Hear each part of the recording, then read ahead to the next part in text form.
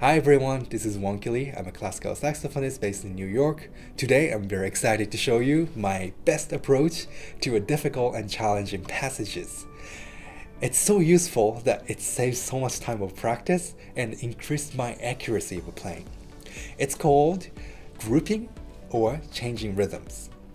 So if we are working on a passages made of consecutive 16 notes, we're going to practice them with four rhythmic variations. I will show you an example of how to do this with an excerpt from the Carmen Fantasy, which I'm practicing right now.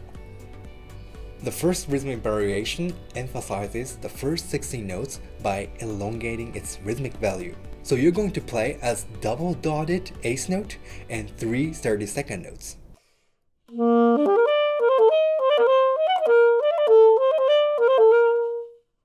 In the second variation, you're going to emphasize the second 16 notes by elongating its rhythmic value.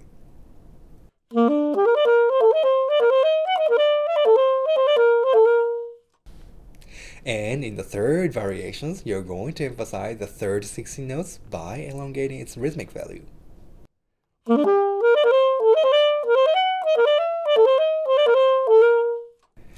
Finally, in the last fourth variation, you're going to play 416 notes as 430 second notes. So squeeze them together and play as rapidly as possible.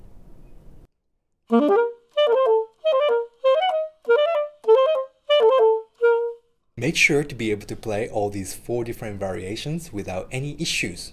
Once you can play them without any problems, then go ahead and play as it's written. You'll be able to play the passages easily and accurately.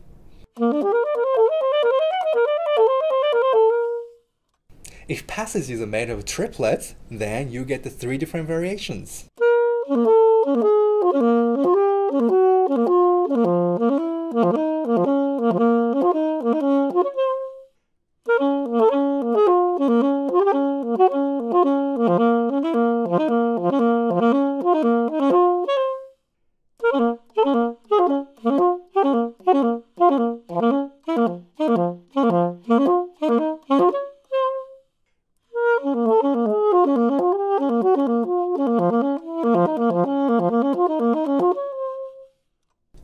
The reason why this approach works is because it magnifies and emphasizes a certain intervals that our brain is not capturing well or understanding well.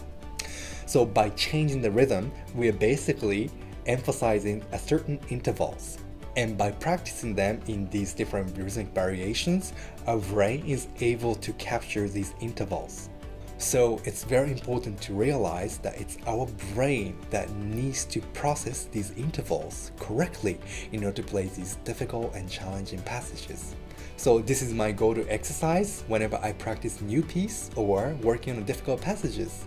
It has worked for me for many years and worked for my students as well. So I'm curious to know what you think of this exercise. So please let me know what you think in the comment and I hope to see you in the next video.